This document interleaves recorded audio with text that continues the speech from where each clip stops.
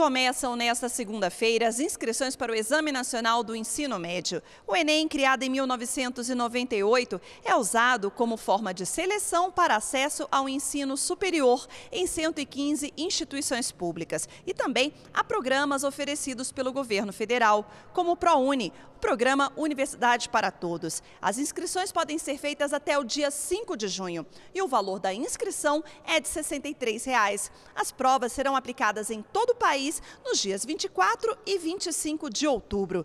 Neste ano, o Ministério da Educação não vai entregar o cartão de confirmação na forma impressa. Para saber o local de realização da prova, o candidato deve acessar o site oficial do Enem com login no sistema.